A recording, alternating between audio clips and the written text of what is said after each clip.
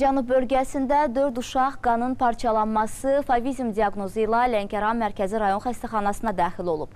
Müayinələr nəticəsində məlum olub ki, uşaqların zəhərlənməsinə səbəb paxladan hazırlanmış qida qəbul etmələridir. Az yaşlılardan birinin vəziyyəti ağır olduğundan Bakıya göndərilib.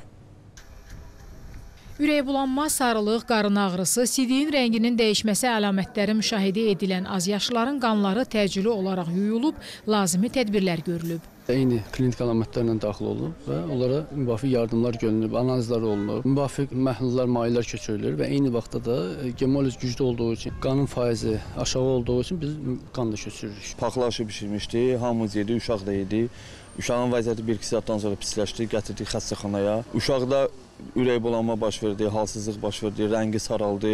Qonşular dedi ki, bəs həkimə aparmaq lazımdır. 3 yaşı var uşağın. İlk dəfə idi paxla yedi. Bəli, bəli, ilk dəfə idi. Qızım 6 yaşdadır, paxla yemişdi, zəhərlənmişdi. Yəni həmin gün gətirdiniz Yox, bir gün keçmişdi, gətirdik. İki gün əvvəl daha iki uşaq eyni diaqnozla xəstəxanaya gətirilib. Onlardan biri müalicə olunduqdan sonra evə buraxılıb.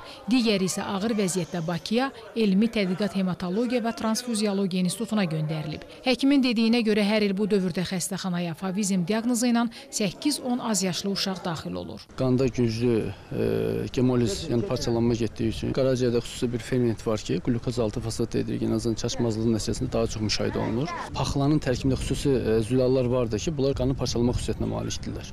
Ona görə də belə hallar müşahidə olunur. Cənub bölgəsində paxla bitkisi həyətyanı təsərrüfatlarda yetişdirilir və əsasən yerli bazarlara çıxarılır.